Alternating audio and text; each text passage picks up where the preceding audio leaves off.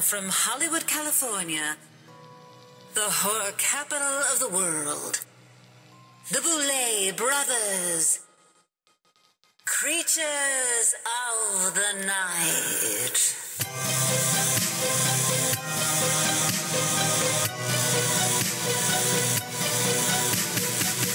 Welcome back to Creatures of the Night Uglies. Okay, so as you all know, we went to the premiere of Alien Romulus recently. And if you are a listener of the podcast, then you know that is something that would trigger us. And what I mean by that is it triggered us into having to go back and watch every version of Alien that's ever came out, which we did. Yeah, we're kind of still in it. I think we what we did was like, okay, now we need to research what is the order of the films because that's confusing. Like the storyline, we all know when they came out, but the storyline is Prometheus.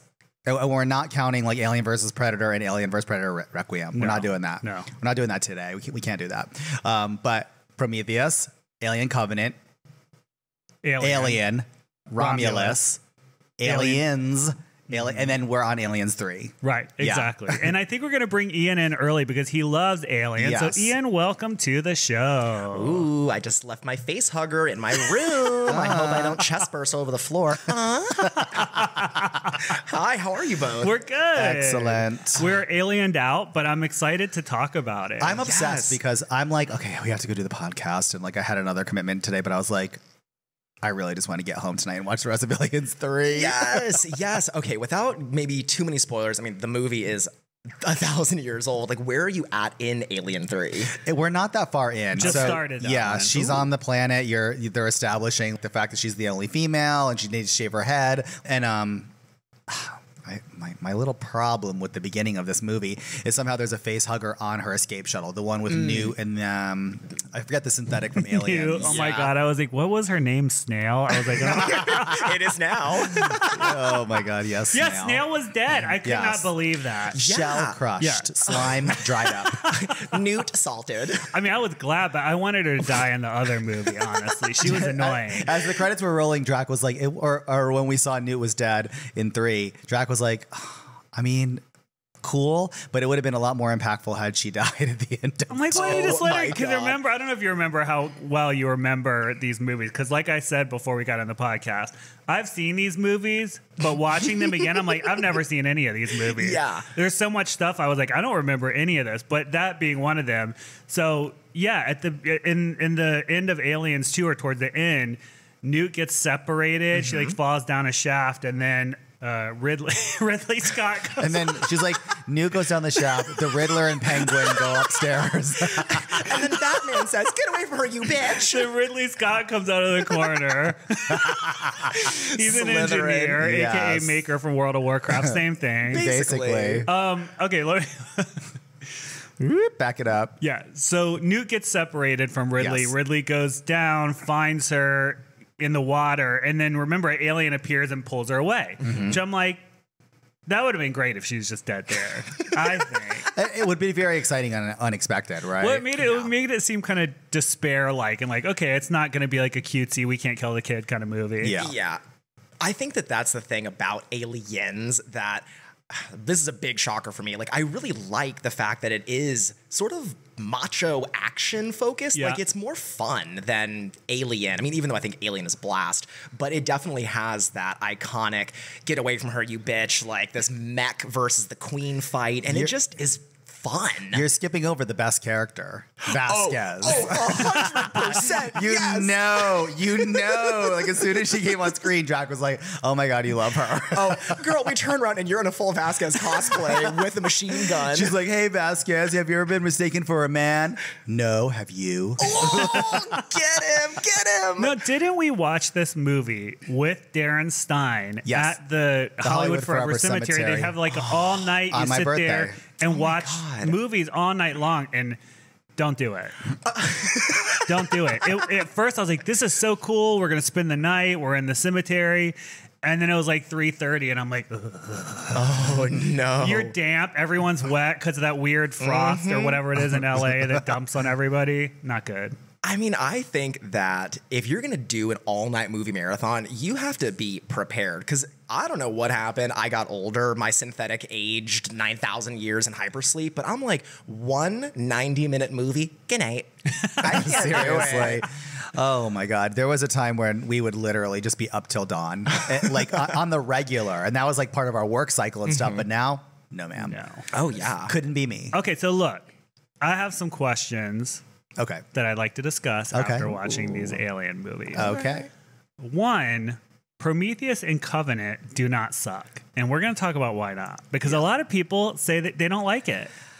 I'm shocked. And I went when we did the rewatch and I was like, okay, let me try to look with these eyes. You know, the eyes of people that are saying that are like naysayers and they don't like the evolutionary process of what's presented in Prometheus and mm-hmm. Covenant. But I think it's super cool because it's a complicated storyline. It goes mm-hmm. back, it really pays homage and honors the vibe of the original alien. It's serious. It's not Yeah. Vasquez with the giant, you know, battle gun, even though that's fun. This is like serious science, xenomorph, alien crossbreeding hybrid. Like it's I mean, I liked it even more after watching it again. I think that Prometheus is one of those films, and Covenant too, but they get better the longer they have been out because I think that there's something so eerie and weird. Like, you know, Alien is basically like a haunted house movie. Like, it's Yeah. so cramped and small. And then you go into Covenant, and it's like, oh, we're out in the open. Like, no one's got their helmets on, but it manages to be mega claustrophobic. It's like there's nowhere to hide. They're awesome. Yeah. And I think maybe people don't like them. Now, this, you know, obviously not everyone that doesn't like them thinks the same way, but I feel like maybe it's because people that were like fans of the originals in like the 90s and the 80s, like they liked that when it was a little not so smart and a little more like what Mm. you're talking about. It was a little more macho and giant guns and it was say it, more Jack. that vibe. Butch it up and dumb it down. Yes. I was gonna say uh, incel horror homophobic people, but you know, I mean, say it. Same, same thing. right? You know, that's who I thought maybe didn't like it. Because to, to me, I like both versions. I do love the the gory, more campy '80s version of it, where it's Sigourney Weaver's in the giant suit and all that mm-hmm. stuff. But I also thought this was smart and it was an evolution. So I Yeah. don't know. For me, Alien Covenant really shined out. Like my first time through, I thought maybe Prometheus was my favorite of the two, but I mean, after a rewatch, Covenant is so insidious and so sinister. Like mm-hmm. David is incredible. Like, Yeah. I mean, what a character. And then we go on to meet Walter, and like it's the same shape model, but a, a different make. And Yeah. it, you know, it's just it's just so cool. I think the Prometheus and Covenant really further my favorite thing about the Alien franchise, which I didn't really even put together until I watched Romulus, which is I love the synthetics. Yeah. Like, I think that the synthetics are the strangest and most unexpected part. You know, you sort of know how the xenomorph is going to act. It's the perfect predator. It's it's just a hunter personified. But the synthetics always surprise me. You know, they're always mm-hmm. duplicitous, and I just love them. It's the best character, but even Andy, right, in Romulus, not, not duplicitous. Mm-hmm. Even though he got that chip upgrade and he got a little shady, th- this was like a true altruistic character, you know. But um, it's the best character. Like, it- mm-hmm. hi- hire me as an actor on in any Alien movie, and I want to play the synthetic. I think it's like the best role. No, you're the lesbian with the gun. We already or the lesbian that. with the gun. yes, yes. All right, now here's the big question. In the original Alien, the crew lands on LV 426, mm-hmm. right? And this takes place after Covenant, where we just learned that David sort of created the xenomorphs, right? So if that's the case, how did one of the engineer ships end up on LV 426 with a xenomorph on it? Doesn't make a lot of sense. Or a face hugger or whatever it was is on it. I I got to go to the library. No, I need for for stuff like that. a lot of information gets transmitted really quickly, like in dialogue moments, and they talk. You know, oh, and and you if you blink eh, or you walk out of the room for a minute, you might miss the little piece that you need to like put it all together. I don't think they would have made kind of a huge, kind of glaring mistake in the storyline because it seems like they went to painstaking lengths to maintain some continuity throughout all the movies. The, the short answer is I don't know, but maybe you, you could answer that if you watched again. That was a lot of dialogue for a non answer. Well, it was an answer. Maybe you need to adjust those headphones because I said I don't know. Do you, what do you think? Do you know? I'm gonna mirror the words of a very wise seer, seamstress, uh, nightmare creature that I once uh, I once knew, and say uh, everything that Swan just said.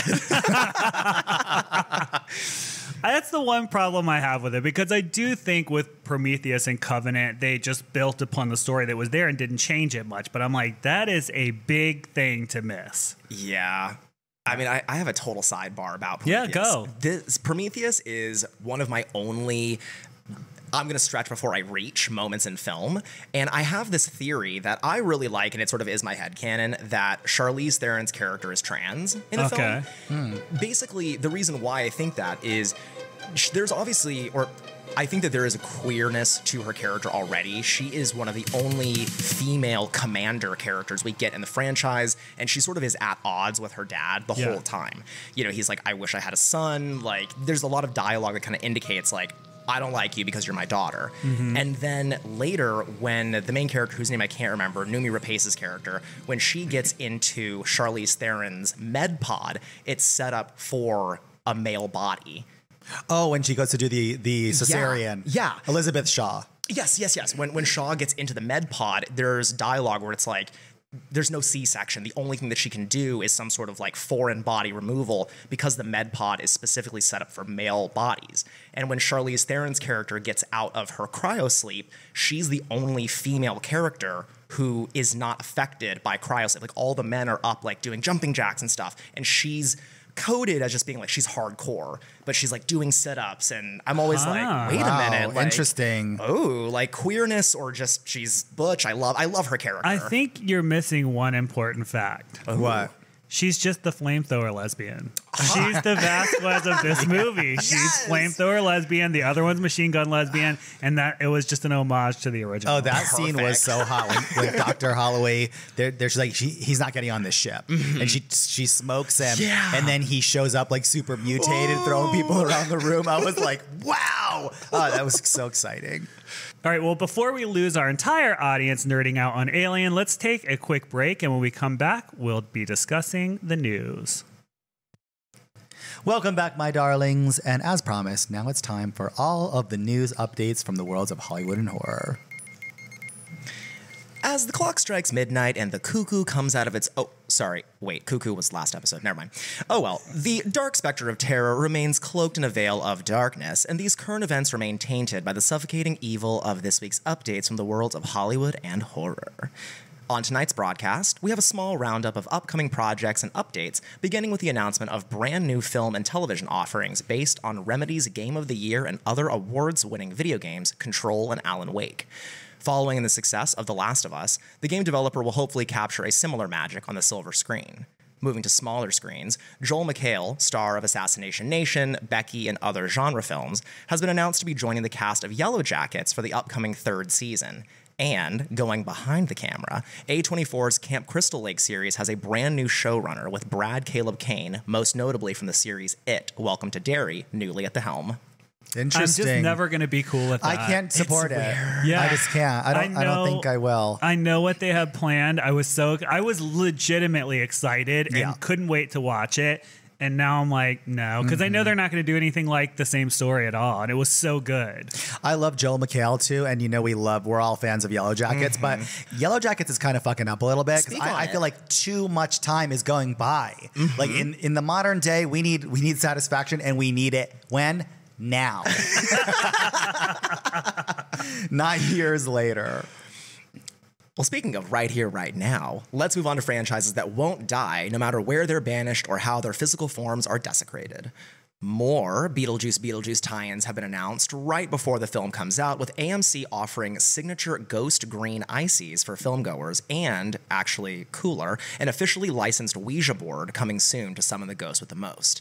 Fans of spirits more corporeal, with their calendars on hand, will want to mark their schedules for a new Chucky attraction at Halloween Horror Nights with a late night talk show called Late Night with Chucky, announced exclusively for the Halloween Horror Nights Hollywood location this year. Oh, we get something. I know, That's exciting. finally. We get the bad Harry Potter. We get all of it. Uh, or we don't get any of it, I guess I should say. Bad Harry Potter that I cannot ride. Like it's those weird, oh, not Oh, yeah. VR, instant vomit. but we did it, and we were like, I was like, wait, I've done this ride before, and this is actually kind of good because I thought it was crap. It's the one with the the dangle legs. Yeah, right? yeah, yeah. yeah, and like a dragon flying around. Like, And I feel like they changed it or something. I, I think don't they know. changed it. Nothing will be scarier than the time that the three of us were in line for the Simpsons ride, though. oh my god, I thought we, we were gonna die. we were. It was like we the were. purge or something. I was like, what's happening? I think we cro- crisscrossed into like different dimensions in that waiting line. Like that was weird. I really thought for a minute, I was like, maybe they took the ride because you know how they'll reskin something and Uh-huh. just throw a clown in there and try to scare you. So I thought maybe it was like that, but it it was just weird. I was so annoyed because there were very few people in line. We had to wait a thousand years to get in. We get in, then I didn't realize it was one of those just like sit down and watch a movie ride. And then it had the nerve to like be so disrespectful and shoot water in your face. I'm like, get me out of here. I hate it here. Oh my god. And finally, two light and cute offerings before I return to my child-sized coffin. Speaking of Alien and Alien Romulus, Fede Alvarez has been communicating with fans online recently and revealed a very cool Easter egg for Alien Romulus, stating that Ripley's escape pod can be seen in the background of the film's opening alongside the xenomorph. And for our pop gorals listening, Pop star Sabrina Carpenter's latest music video surprised fans, and me, with its co star Jenna Ortega this week in a horror reference filled feast with Death Becomes Her as the through line. There's nothing real to report on this except horror continues to do what? Slay. It was cute. I There- watched It is it. cute. She's Yeah. just a little too young to really appreciate Death Becomes Her, in my opinion. She has no idea, but She I, I, no I idea the appreciate pain. the honor. I was more impressed with the Ginger Snaps reference. Like, oh, which I missed that. yeah, where she falls onto this. Oh, the fence. yeah, on the fence. Mhm. So wait, you're saying you can see Ripley's what what is it life thing? Believe What- it or not, escape pod. Where? Okay, listen. you that I remember don't that? know. There's it's it's when they're basically they're moving the xenomorph from you know it's, it's like this sort of like asteroid kind of thing. They're moving Oh, it through the hull of the ship, Oh. and it's like a blink and you miss it. Like as they're passing by some of the other artifacts and wreckage, there's an escape pod in like the very back of the scene, and that's confirmed now to be Ripley's pod. This may be close to the something that I read about um, Romulus, where if you recall from Alien, the original, she Ripley uses like that grapple hook to kind of shoot mm. out at the the xenomorph, and then you know it gets dragged behind the ship, and then it tries to go in the engine, and she burns it off. Well, you see that grapple hook somewhere. Oh, yeah, that, that's that- cool. Yeah, it's kind of neat. But which pod would it be? Because she actually stayed on that one for like 50 years, so it couldn't have been that one. That's strange. I didn't write the hmm. movie. Hmm. All right, everyone. And now it is time for our Junior Mints Movie Club review. For this week's film, we decided to watch Oddity, which is a 2024 Irish horror film written and directed by Damien McCarthy. It centers on a blind medium and curio shopkeeper who is still grieving the death of her twin sister a year prior, and a lot of strange things that happen after that. So let's get into this film. Something odd is happening here. Something really weird is happening here. Look, I think this movie had mood and atmosphere galore. Mm-hmm. And that's maybe the best thing about it. It gave me a couple of really good scares, like mm-hmm. not, not not cheap jump scares either. The kind of scares that make the hair stand up on the back of your neck, rippling goose flesh, Yeah. for sure. That it gave me that a few times. I feel very similarly. I think that I need everyone, capital E, everyone, to stop hyping movies up to the point where they can't live up to the hype. Exactly. Yep. This movie has a 94% on Rotten Tomatoes. Does it really? Yeah, it's way up there. Yeah. Oh wow. Okay. And I was like, I, and, and I saw that and I'm like, ooh, 94. Okay, mama. Like, let's strap in, strap on my extra large medium. Like, let's go. But That's reminds uh, me of me myself. If a medium can do all that, what can a large? Yeah, baby. Oh my God, yes. oh, Jack, that was good. I love that. And I just like the movie a lot. And I agree. I mean, there are some. I didn't scream ever, but I did go a couple of times, which is fun. It, Yeah. It's it's a fun film. I think it's a good feather in Shudder's cap. Is it fan? Is it ten out of ten? No, but I did like it. Well, I guess it's a nine out of ten based on Rotten Tomatoes. What did you think? Nine point four. I felt like I kept coming in and out. There were moments in the film that I thought were truly scary and terrifying and chilling. And sometimes I was I was with the actors, but then on the other side of the coin, some of the actors I was like I'm not I, this is really oh. obviously weird. And and the other thing was while I saw moments that were truly scary, the moment that wasn't happened right off in the beginning when she opened that little peephole and that guy look that was camp. I was like, this is silly to me with the eye, with the, the contact. I was like, I'm not in it. I, it took me out of it completely.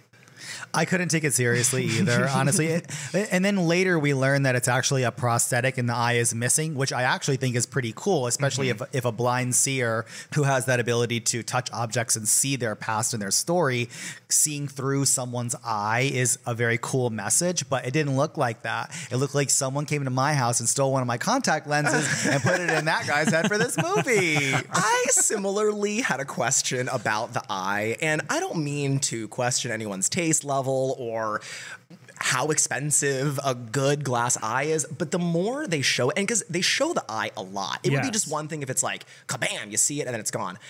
I'm like, why does this eye look like someone took a Bic pen and like scribbled on it? Yeah, I've never seen a fake eye, so I don't know. Maybe they look like that, but I thought the same thing. I was like, shouldn't this be like rounder or something? Right, I don't the know. shape was irregular. It was Yeah, strange. and maybe they oh. are to keep them in. I don't know. Okay, this is really weird because I've actually been spending a lot of time on Blind Talk, and I've been seeing a lot of prosthetic eyes recently. What So- did they look like that? The shape is correct. Oh. Like it's the, it's sort of it, hmm. it's to fit like within the eyelids. Okay. But you know, and there's a lot of different designs. Like I've seen. I mean, basically, like any design you could put on a set of D and D dice, you can put on a prosthetic eye. But this one, I was like, so you just got the like, I'm gonna creep people out on purpose special. Well, by the way, I never want to see your FYP ever. I can't even imagine. I can't imagine. Oh, I'm sure you could. You don't want to imagine, but you uh, could. This was a new addition that I wasn't expecting. You're always full of surprise. Let me ask you guys a question. There's an artifact in this movie, and she gifts it to her dead sister's ex husband, and it's that wooden sculpture of a man. Mm-hmm. This is chilling. I, I think when we see its its gaping mouth and it moves, but on me, I think I may be very desensitized for this type of kind of subtle scare because it, it wasn't chilling to me. It wasn't scary to me. I know it was supposed to be, and I, I'm wondering if other people, people that are voting in the 94% on Rotten Tomatoes percentile, are saying like, "Wow, this is like super chilling." But for someone who's hardcore into horror, maybe not. What did you think? I had assumed that it was leather at first because I'm like, exactly how did you fold this up and put it in this trunk? Now that we know, later you find out, spoiler, that the thing can animate and move around, maybe she had to get in a fetal position and then put it in there. I don't know, but it was very strange. I'm like, how did you fit this solid piece of wood Yeah. in this trunk? A hundred percent. And why are we accepting that that is okay? Yana, who is the, the ex husband's new girlfriend, probably the best character in the movie. Oh, she was like, great. like she was so cunty and just cutting, and I'm like, oh, I like this girl. Mm-hmm. Um, but she like sees the wooden thing move, like it, it pops up in the chair, and then it's looking in another direction, then it moves its arm up. I'd be like. This is supposed to be a statue. Like, what is happening? But no mention of it. there's a lot of suspension of disbelief in this movie. I Yeah. think I have never experienced this before, and I don't know if anyone has experienced. If anyone has experienced, uh, you know, their friend coming over and bringing them a wooden body or whatever, and it, it animating, and them not freaking out. I mean, girl, the second that she brought the trunk in and opened, I'd be like, "You need to get the fuck out of my house." Oh, we were totally doing Get the f- like no. I was Yeah. like, movie over, credits roll. But she did sort of overstep her boundaries in a in a pushy way, and maybe because she's disabled, you know, I don't know. Maybe you would just be like, uh, okay, I don't It- know. no, Okay. it seemed like she was pushing that card and like forcing these impositions on everybody around her. And I was like, I looked at Drac and I'm like, this woman would get on your nerves. And he's like, oh my god, I hate her so much. I already. I'm like, if you knew her, her. yeah, because she Oh was she was so rude and like stepped over boundaries. and boundaries. just pushy, and then like, can you make me some food? I'd be like, okay, I know you're blind, but I'm about to beat your ass. For me, she was giving spooky Tabitha's takeover. Yes, yes. and she did take over, didn't she? She certainly she she's took like, over this crime Give me scene. your keys. yes. I think that the initial scare of the creature or the figure, it's weird. It's very unsettling. It's odd question mark Mm-hmm, but i think that the actual best scares in the movie come from the camera flash Absolutely. i was like, Like that's that- oh yeah Oh, really? That is- See, I thought oh. There was scarier moments. Like even when the guy came around the corner in the stairwell and first saw the the wooden guy down there, the way they presented that, that's hard to not make cheesy. And I actually think it wasn't cheesy. I thought it was kind of scary. this movie had moments where it really Mm-hmm. shined like oh these are like really potent vignettes right and then we kind of got into weird territory but then you'd see more and for me the best scare was when Yana again is up in the bedroom and she finds the camera. Yes, and then and then the sound the soundscape was really great too. And God I'm getting the chills again. And then she sees the ghost and it's like run.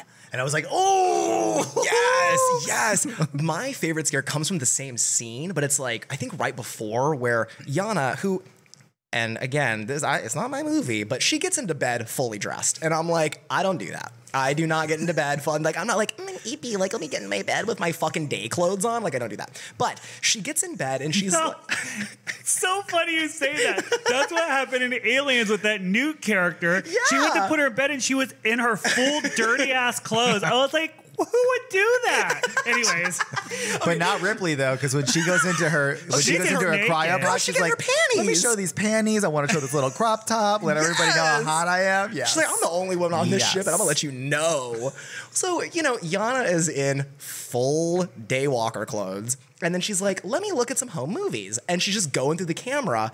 And I love found footage. And so when she watches that clip the first time, I was like, oh, this is a little unsettling. Like, the, you know, the camera pans over and you see the husband with the, the blanket over his head. yeah. yeah. And then again, a little bit of a suspension of disbelief. She re-watches the clip. I'm like, you already seen it, just skip ahead. But she re-watches it, and then it's the ghost when it turns. And I I should have seen it coming, but I got gooped. Oh, I got nice. got. Oh yeah. Oh, and then she saw it in the corner of her room. That was another really terrifying moment. So it kind of came in and out, didn't it? Yeah, there were other vehicles too for the storytelling. What one of them that I thought was so slick and I didn't see it coming was I'm going to leave my phone here, which no one would do that, but Yeah. make sure you answer it and then he removes the latch, which I didn't think that was going to work and it did. And so it, it was like double That shocking. was disturbing. That her falling through that, it was weird. I mean, I liked it because it made it was unsettling, but it was a strange choice for sure. At that point, I was fully on Tabitha Spooky Takeover. I wanted her to win. I wanted her to be like uh, Yeah. escape from Witch Mount and like kill everybody and like get away with it and like bring her sister back or like you know live in that house with her sister as a ghost or something. I agree. Like I was like, when she was like, I'm gonna take everything from you. Yeah. I was like, yes, Tabitha, take it all. Do it. Yes, and she's like, and bring Ivan here so I can kill him. I was like, wow, I'm I'm I'm believing her. Same. I mean, I did enjoy a scene where Ivan gets his toes gnawed on. Did you like that? I was like, Oh, I was yeah. like, now we have gone into full goober territory Yeah. with this, but I kind of Yeah. live for it. that was one of those moments I was like, okay, we're back to campy. I'm like, what's happening? She getting her toes sucked on. It's giving that scene from Talk to Me. oh my god, After she took a bite. Ow! So, okay. That being said, do you think that there's anything about the movie being like Irish that there could be a sense of a different sensibility in any way or no? I have maybe a controversial. Yeah, yeah. What take. is it? I don't know that it's a cultural sensibility, but I do think that this movie does a lot. I think this movie does a lot with what I am guessing is a little. I, think, so too. Yeah, like I think that there are elements that just flat out work and look great. Yeah, Yeah, I, agree, with that. I also agree with something you said earlier, which was the hype of the movie, I think, affected it because this came out around the same time that Longlegs came out. And what was Mm-hmm. the other one that was hyped up to be really scary? And I don't even remember what it was now. Exotic. Oh yeah, Cuckoo. Cuckoo. That, yeah, But okay. Cuckoo that- was good. It was, but still, they all three of these films were, I think, on the lower side of budgets. They were Mm-hmm. indie movies, and they were presented to be the scariest movie you're ever seen. And then, so uh, literally, I remember after Longlegs, someone said, "Well, if you didn't think it was super scary, watch Oddity because it's Yeah. scary." Remember? Yeah. So that's what it is. It set me up. Now, if I just came across this movie on Shudder and watched it, I probably would have loved it. Sure. Well, dear listeners, we do hope you enjoyed this episode's Junior Mints Movie Club review. We are going to take another quick break and we'll be right back.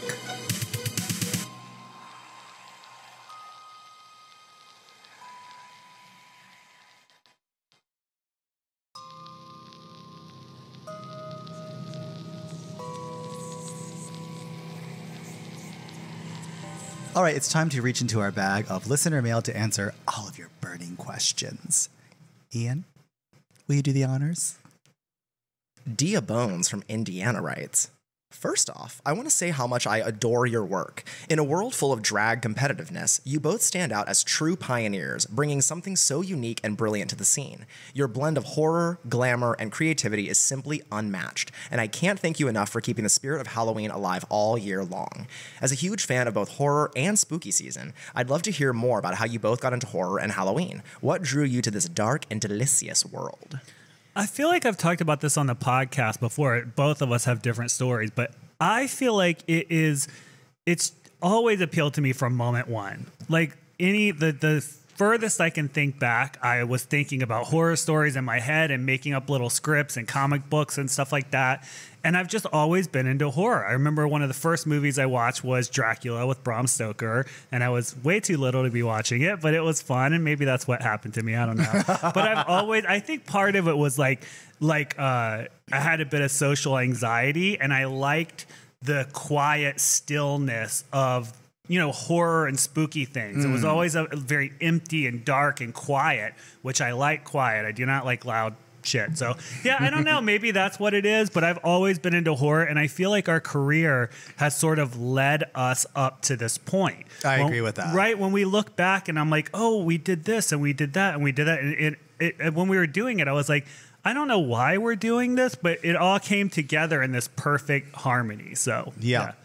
And similarly, I was the kid who had a collection of long black capes in my room, and I would like go downstairs and turn off all the lights and put on my Dracula cape and like walk around like I was the coolest, scariest thing around. And I worked in haunted houses, and I've just always been obsessed with the villains of every story and the darkness. And I'm attracted to the fantasy and the the kind of like the drama of this world. And that absolutely includes Halloween, always has. And that's why we've thrown the LA Halloween ball for like upwards of 25 years. Like, oh this is my our absolute favorite time of year, duh. And we really go to the nines. Can't believe we started a party when we were five years old. But I know. whatever. It's so Oh my weird. god! And now you are the coolest and scariest thing, and still you're so young. Almost 30.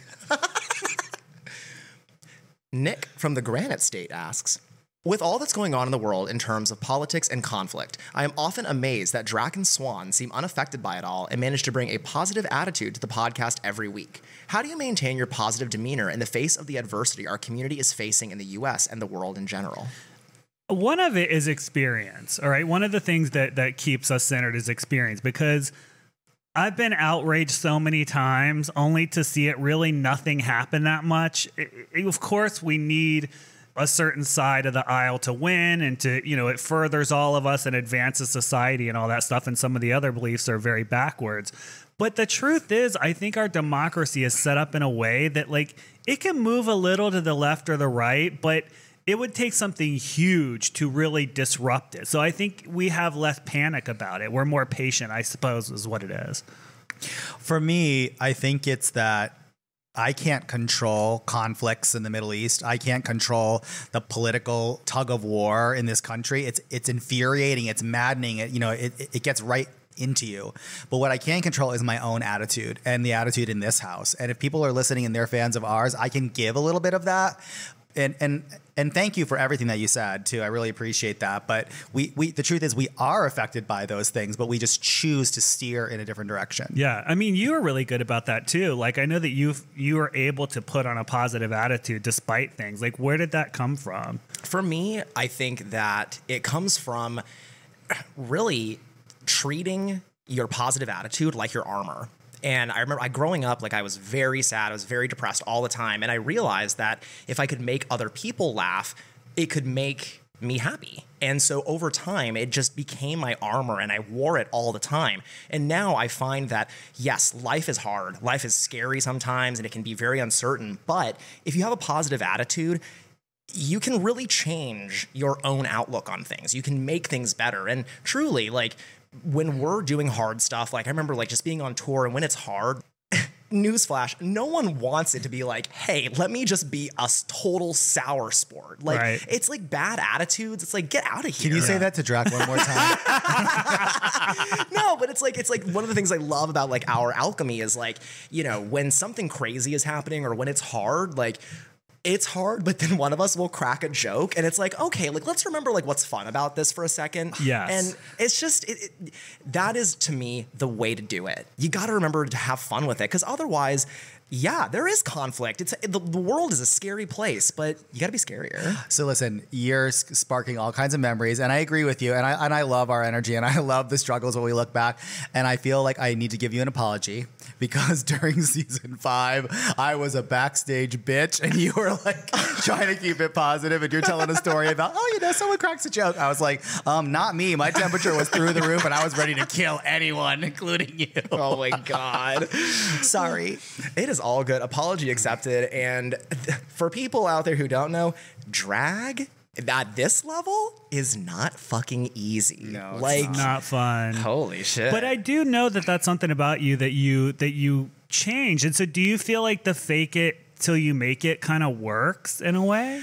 A little. I mean, I don't consider it to be faking it. Not like, faking, but you know, like if you take on a positive attitude, even if you're feeling negative and you lean into it, it will turn into a positive attitude. Yeah, I, I do. But the thing, I guess, for me, like I saw this thing recently, and I think that it's more like self esteem. Like, if you don't like yourself or you don't think that you're good at something, the best thing that I think you can do for yourself is to every day tell yourself, I love you. I think you're fierce. Like I, I think that I can do this. I can do this. And you may not believe it, but over time, when you repeat that to yourself over and over and over again, you at least have one voice that's telling you, hey, you can fucking do this. And over time, you're like, well, wait a minute. Maybe I can do this. Like instead of being negative about yourself all the time, like you can you can start to wear it. It's like a like a venom symbiote almost. Mm-hmm. Belief matters a lot. Mm-hmm. Belief is such a huge part of manifestation, and and you can't fake it. You can't be Can't like, fake it. "Yep, I believe. I totally believe in this," but you're kind of like, "I don't know if I believe in this." It's not going to work. But if mm-hmm. you really believe, you will be nominated for an Emmy. Yes. Hopefully, on the next podcast, we'll be flexing our Emmy win wins. Look, even being nominated is so gratifying to me. Like Yeah, I am, so and I'm not saying that from a humble point of view. I mean, I really am satisfied with that. I'm still gooped. Goop you lad. No, I'm just kidding. I'm keeping that in.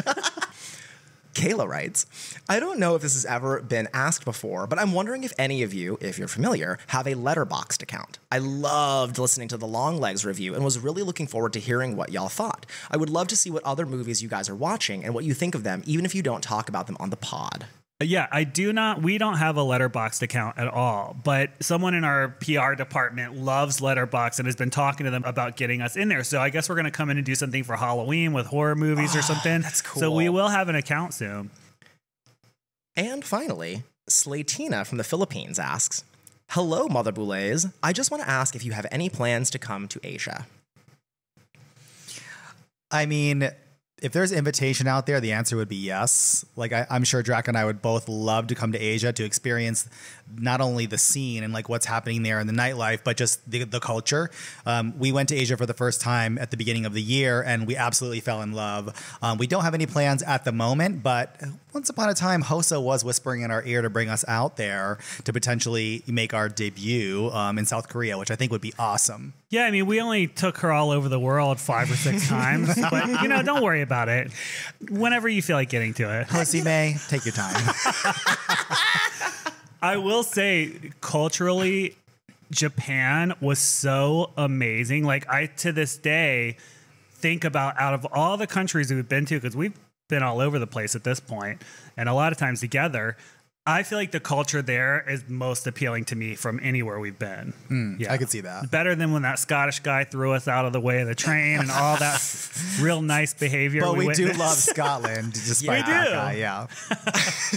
They're rough. Mm-hmm. like I'm gonna get in some fist fights here. Okay, cool. Yes. All right, my darlings, that's all the time we have for this episode of Creatures of the Night. Thank you all for listening. And if you love us, you'll have to prove it by rating, subscribing, and reviewing wherever you get the best podcasts around. Thank you, my darlings, and we'll see you next time. Oh, and I almost forgot. Starting next week, we'll be in full swing for everything from the Boulet Brothers Dragula Season 6. The Boulet Brothers Creatures of the Night is hosted and produced by Drac Dracmorda and Swanthula Boulet, along with co-host Ian DeVogler, with music by Neuron Spectre.